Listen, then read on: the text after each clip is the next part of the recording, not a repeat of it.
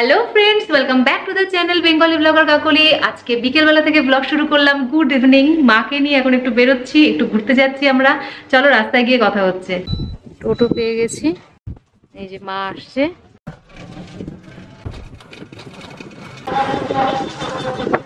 মাকে নিয়ে চলে এসেছি মেলায়, পানিহাটি এক্সপোতে।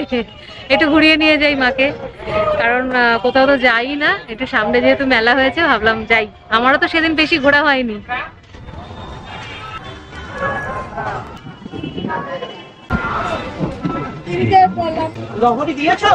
এখান থেকে একটা চেন নিলাম মার জন্য এরকম সিটি গোল্ডের। মাকে পরিয়েও দিলাম। চলে এলাম একটা আচারের দোকানে। এখান থেকে নিলাম আচার একদম মিষ্টি টক টক মিষ্টি সমস্ত রকমের আচার রয়েছে। দেখে আর লোভ সামলানো যায় না। তো সেই জন্য একটুখানি আচার টেস্ট করলাম আর নিলামও। এখন চলে এসেছি একটা স্টিলের জিনিসের দোকানে। মানে সব রকমের স্টিলের স্টেনলেস স্টিলের জিনিস রয়েছে, রান্নাঘরের আর কি। তো এখান থেকেও দুটো জিনিস নিয়েছি, পরে তোমাদের বাড়িতে গিয়ে দেখাবো অবশ্যই। তো মেলাতে বেশ ভালোই ঘুরলাম। এইবারে চলে এসেছি, ওই দেখো, দূরে রাইডস রয়েছে, সেটা দেখছিলাম। মানে খুব সুন্দর লাগছিল, কিন্তু আমি কখনো রাইডস চড়তেই পারি না। দেখলেও ভয় লাগে। চলে এসেছি পাপড়ের দোকানে।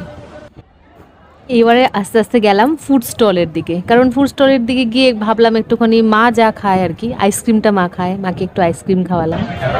আমরা এবার খাচ্ছি আইসক্রিম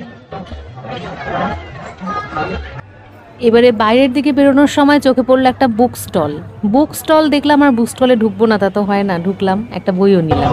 আমাদের মেলা ঘোরা হয়ে গেল। আমরা বেরিয়ে চলে এসেছি এবার বাড়ি গিয়ে কথা হচ্ছে। চলো দেখাবো কি কি কিনলাম। চলে এসেছি মেলা থেকে। প্রথমে ভাবলাম তোমাদের আগে কি কি এনেছি দেখিয়ে দিই। তারপরে আমি ড্রেস ট্রেস চেঞ্জ করব।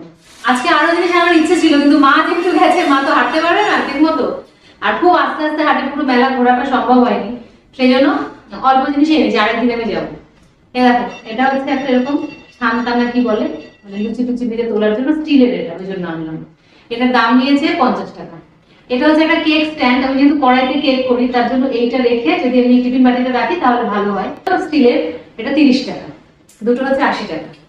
বই, ওখানে দেখালাম না যে একটা বুক স্টল বসেছে? তার জন্য একটা বই নিয়ে এসেছি। শিবরাম চক্রবর্তীর হাসির ফোয়ারা। হাসির গল্প অনেকগুলো রয়েছে। ছেলেও পড়তে পারবে, আমিও পড়তে পারব, ছেলের বাবাও পড়তে পারবে। সবার জন্য আনা এটা আচ্ছা এবার এনেছি আচার। দু রকম আচার এনেছি। এটা হচ্ছে এটা হচ্ছে চালতার আচার। আড়াইশো গ্রাম, সত্তর টাকা। আর একরকম আচার এনেছি, এটা এনেছি একশো গ্রাম। তেঁতুলের আচার চল্লিশ টাকা। এবার দেখো অনেক রকমের পাপড় এনেছি। তারপর সব একসাথে করে নিয়ে দোকানে যত রকম পাপড় ছিল সাগুর পাপড়, আলুর পাপড়, হয় না? সেই পাপড়গুলো তেলে ভেজে খেতে হয়। সব রকমের মধ্যে আছে দেখো।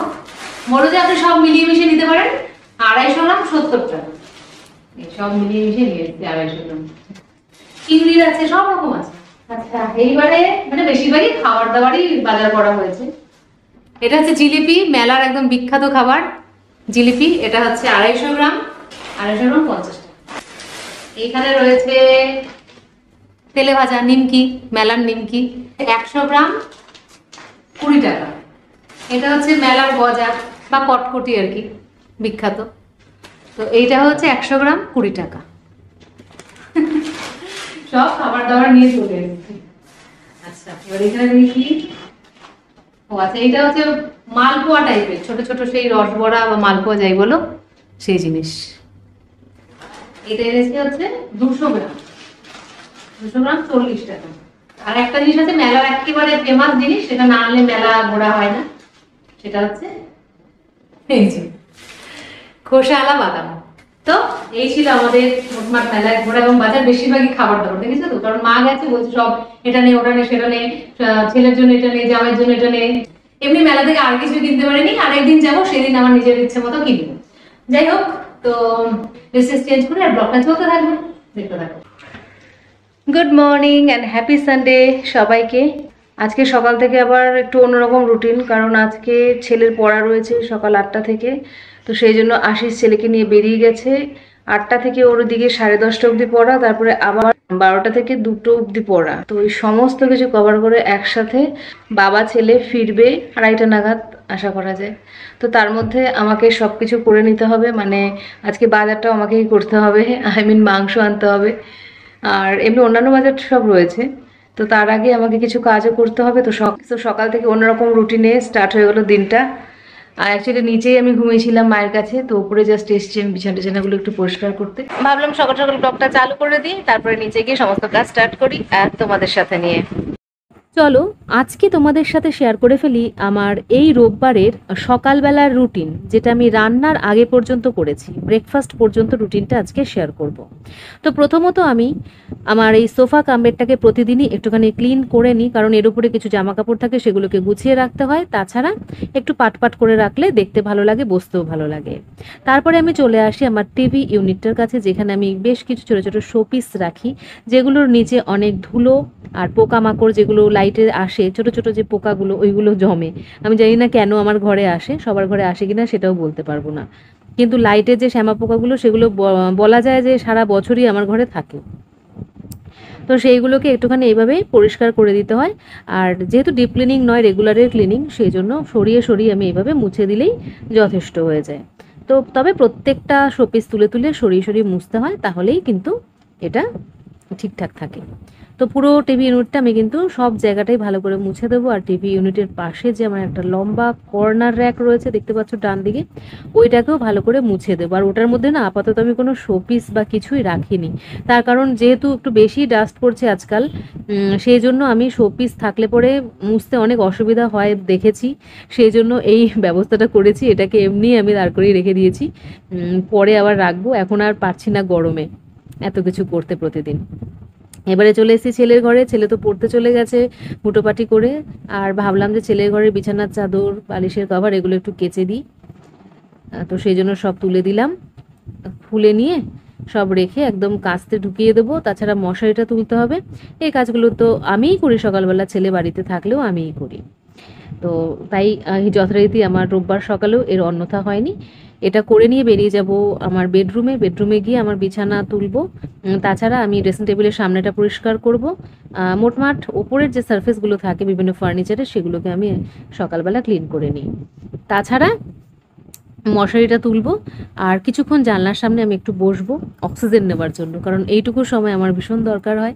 একটুখানি বসি, বাইরের হাওয়া খাই, কোনো বইপত্র পড়ি উল্টে পাল্টে পাতা দেখি। এটা হচ্ছে আমার সকালবেলার একটা ছোট্ট রুটিন। মানে এটা করলে আমি যেন অনেকখানি এনার্জি বেশি পাই। তাই এটা আমি প্রতিদিন করার চেষ্টা করি বললে ভুল হবে। করতে ভালো লাগে, আমি যেন চলেই আসি করতে এই কাজটা।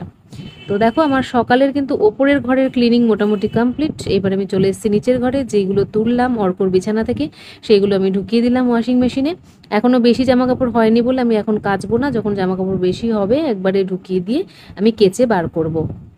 ওটা জাস্ট রেখে দিলাম। এবারে চলে এসেছি উঠোনে। উঠোনে এসে আমি একটু পরিষ্কার করে দিচ্ছি বা ঝেঁটিয়ে দিচ্ছি বলতে পারো। জল দিয়ে এভাবে ঝেঁটিয়ে দিলে খুব সুবিধা হয়। তো পরিষ্কার থাকে, দেখতে ভালো লাগে সামনেটা।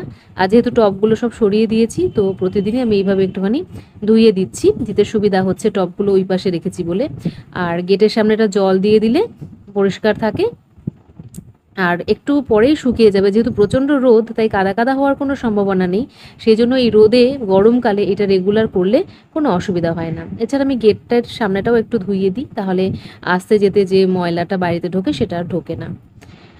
তো হয়ে গেল। এবার আমি হাত পা ধুয়ে নেব। যেহেতু উঠোনটা ছেটিয়েছি হাত পা ধুয়ে ভালো করে আমার ড্রেস যেহেতু আগেই চেঞ্জ করা হয়ে গেছে, আর চেঞ্জ করব না। হাত পা ধুয়ে আমি ঘরে চলে যাব, গিয়ে আবার রান্নাঘরে যেতে হবে। এদিকে আমার কাজের দিদি এসে গেছে, ঘর মুছছে, আর আমার গরম জলটা আমি করে নিলাম। ঠান্ডা জলের সাথে মিশিয়ে নিলাম। এইবারে আমি জলটা খাব। আর কাজের দিদি এবং মায়ের জন্য চা বসিয়ে দিলাম। চাটা করে ওদের দিয়ে দেবো এবং তার সাথে সাথে আমি জলটাও খেয়ে নেব নিজের। আর প্রতিদিনই এই গরম জলটা সকালবেলা খেলে পরে কিন্তু আমাদের ডাইজেশন সিস্টেমটা অটোমেটিক্যালি নিজের থেকে ভালো কাজ করে। এবারে চলে এসেছি আমি দুধ নিতে। যেহেতু চা করছি, তার জন্য দুধটা লাগবে। চা আমার করে দেওয়া হয়ে গেছে। এইবারে আমি এসছি মুখ ধুতে।